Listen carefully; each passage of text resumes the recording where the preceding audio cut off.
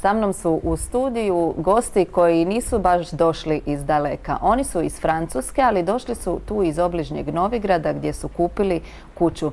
Cijelu svoju priču ispričat će nam Julien e, Renault i Benjamin Edgar. Dobar dan. Dobrodošli. Evo, ovaj, e, po struci ste novinar i živjeli ste u Parizu, doselili se u Zagreb. Recite nam malo svoju priču.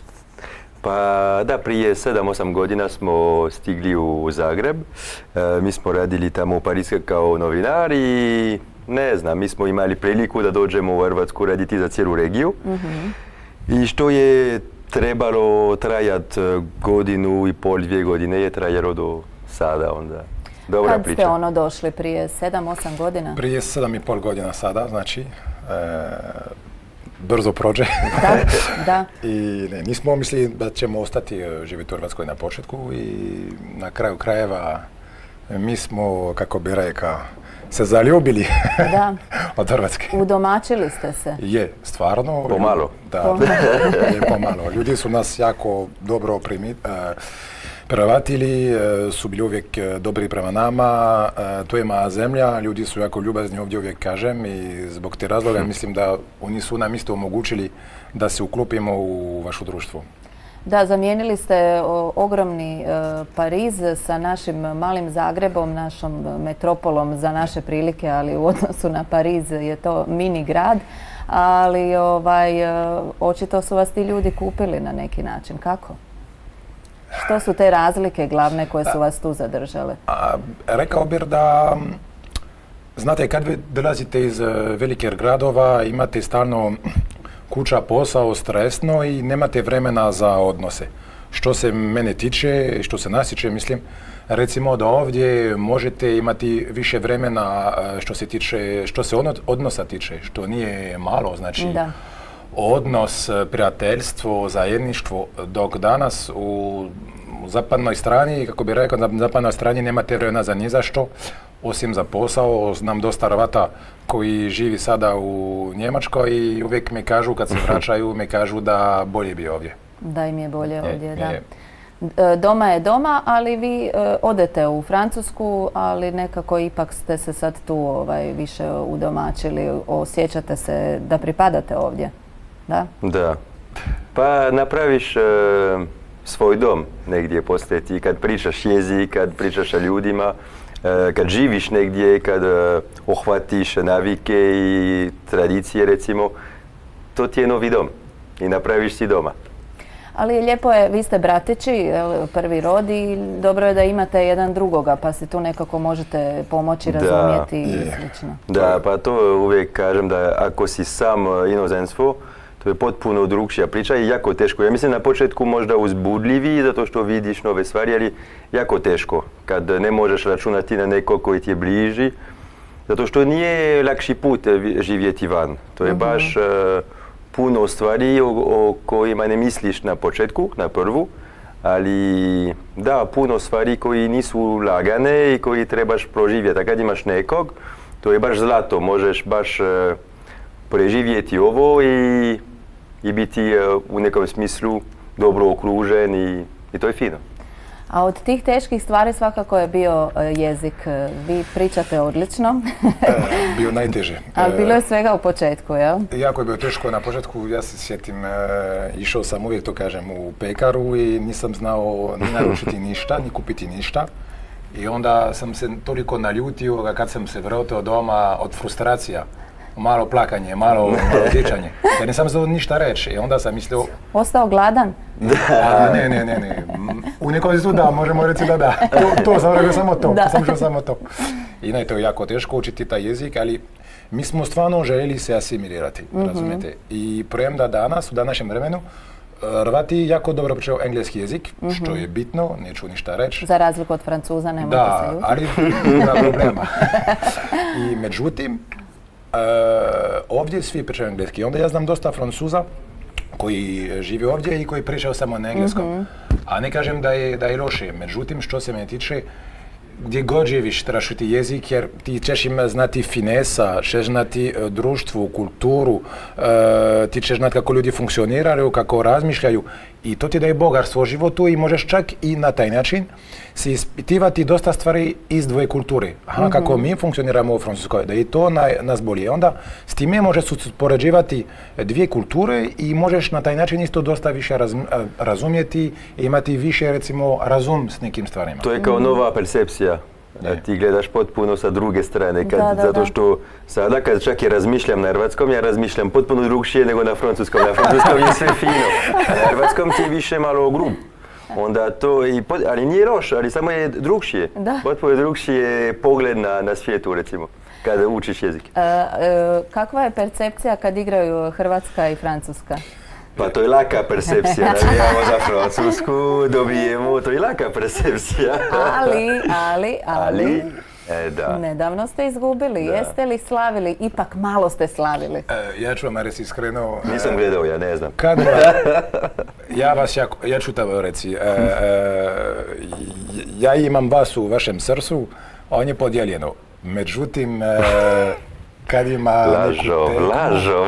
kad ima neku tekmu, ja ne mogu, ja ne mogu, to je moja zemlja, ja sam za Francusku. Ali Da. ja vas poštivam, ja mislim da e, za malu zemlju, e, koliko sportaša, Da. koliko kvaliteta, ste stvarno fantastično. Da. Ja mislim stvarno ja to, mislim da ste bolji nego mi što se tiče, to se sporta tiče. I vidite kondicija, trud, e, to je ovdje, to je nešto koji stvarno možemo reći da je jako kvalitetno. A za, za toliko malu populaciju da ima toliko, svaki put, a vidiš poslije svjetskog prvenstva, svi su mislili, a sada je zlatna generacija, sada je gotovo. gotovo, a da. sada ponovo dolazi, to kao da nema kraja.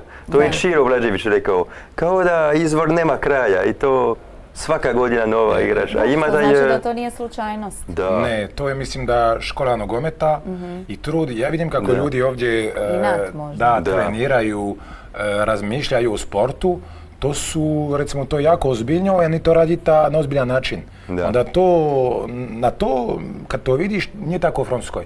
To nije toliko rekreativno kao mi. Da. Mi to je rekreativno kad smo amaterski. Ovdje kad si amaterski igraš, to je čak i dosta ozbiljno, mislim. Ovdje brzo, Aha, aha. brzo shvatiš da je trud, da trebaš se truditi, Je, da je je. napor, ne, ne, nemaš e, da, Da.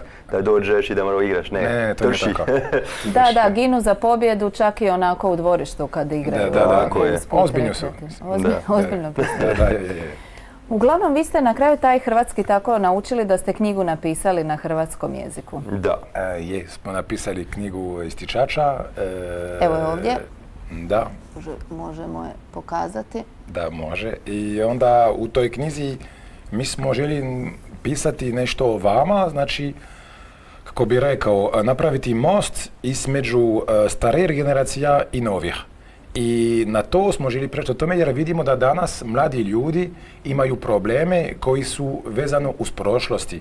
I u današnjem vremenu vidim dosta puta da stari kažu, a mladi ne razumiju ništa i e, stari kažu, e, e, mladi kažu da stari ne razumiju ništa. I onda na taj način nemaju uopće baš razgovoreno, to su samo predrasuda.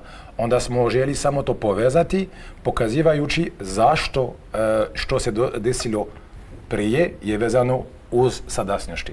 I toliko se svijet e, mijenja i brzo se mijenja da e, ta knjiga sto stranica mala je, ali to je kao e, da- mali trenutak gdje možeš razmišljati gdje sam u toj priči, gdje sam u tom svijetu. Ja mislim da svi se pitamo, toliko se mijenja brzo da svi se pitamo šta da radim, šta da trebam mijenjati, promijeniti u životu, gdje sam, što sam. Da. I to su puno pitanja koji, ja se nadam, smo e, uspjeli staviti e, u knjigu.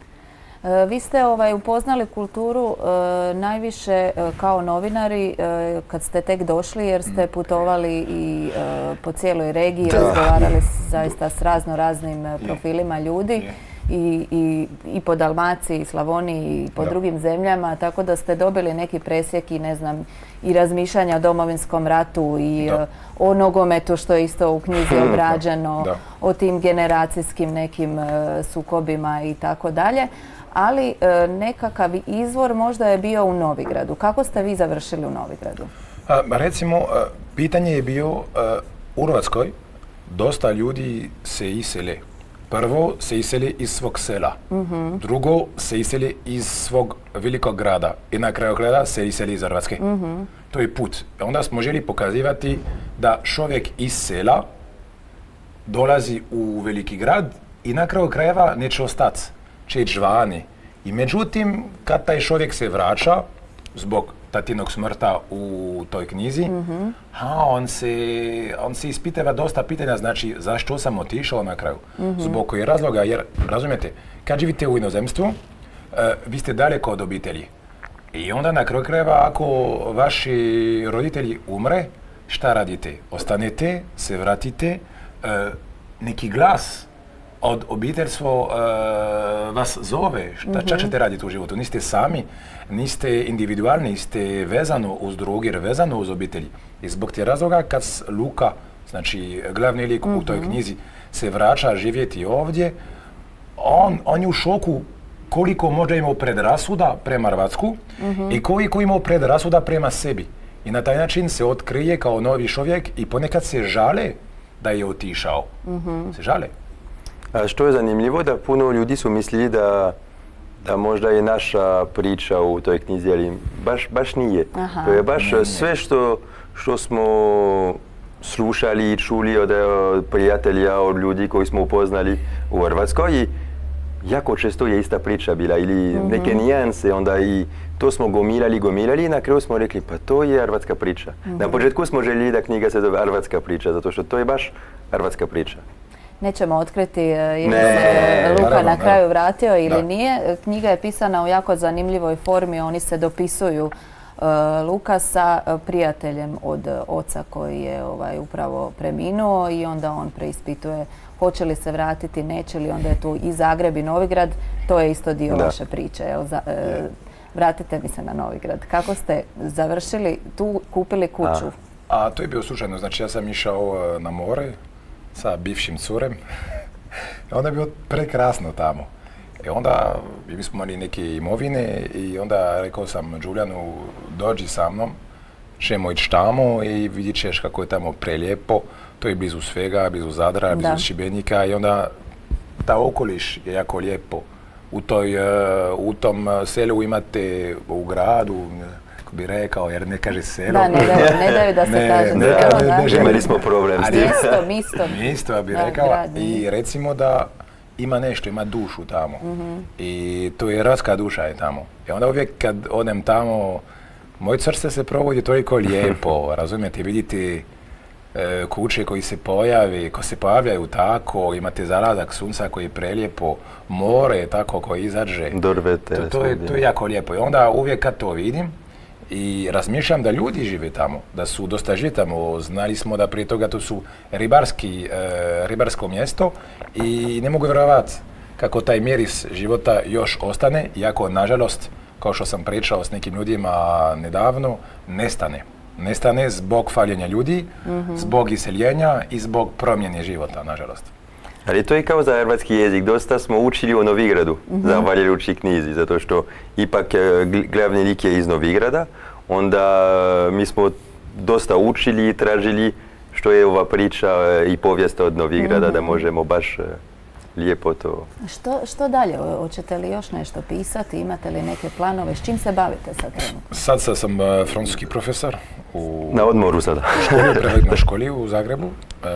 Lijepo mi je. Drugo iskustvo, druge interese, nešto novo recimo. I sve više, više e, ti si sa učenicima, znaš šta razmišljaju, šta oni žele.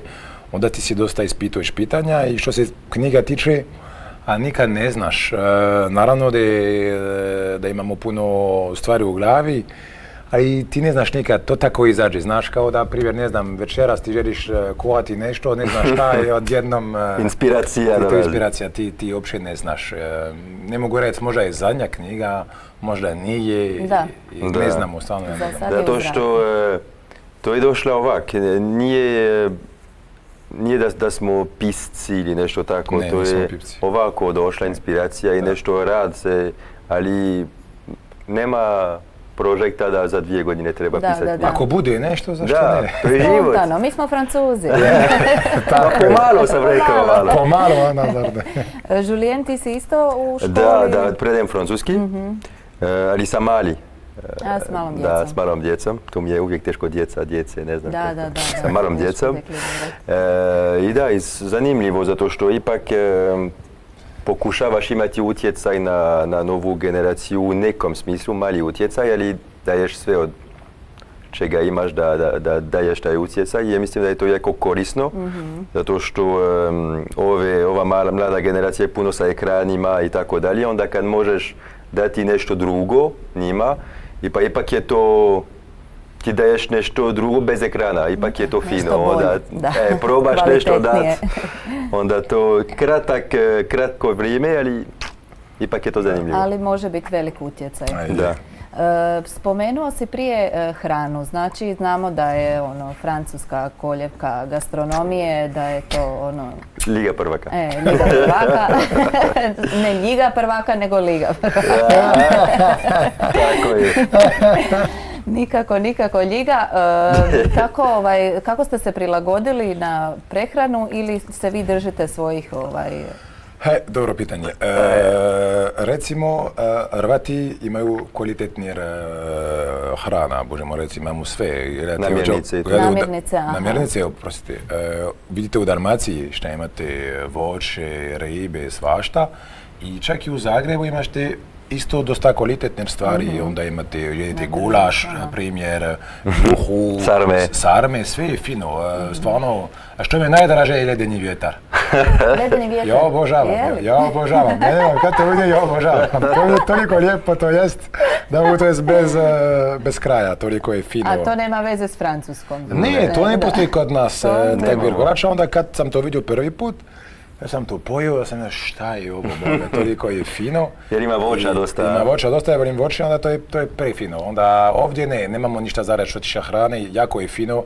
Mhm. Naravno, budemo iskreni, francuska hrana je vrhunska eh, kuhinja, A ali... teško nama, zato što kad, kad dolaziš kao francuz negdje, uvijek ti je ajoj, ajoj. Ali na kraju trebaš vidjeti da ipak zato što Je. Ti si kritičar zato što dolaziš iz Francuske. Ali za normalnu zemlju Hrvatska ima super Da, to je stvari. jako lijepo. I ja putovao sam negdje drugdje dosta i primjer u Irskoj, U Engleskoj. katastrofa, tamo nema to ništa. nije lijepo je tamo, onda u Hrvatskoj ima... s- Da. Ako želiš kuhat, ako želiš i potrudit, Da. imaš sve što, što god želiš. Da.